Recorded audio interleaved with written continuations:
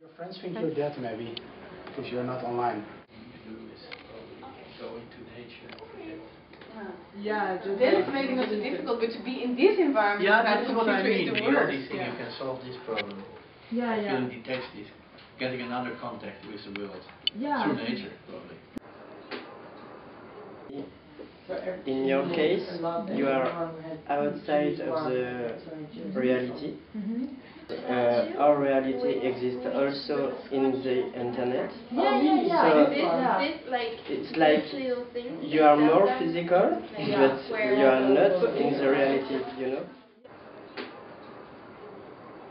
to work you need computer to live maybe it's, it's different thing like if you live in the woods or live outside of this environment maybe it's just easy to not use computer you come to school study master degree and then in design and then if you don't use computer it's like totally excluded yourself from the whole system Yeah. But why is it only this or the other?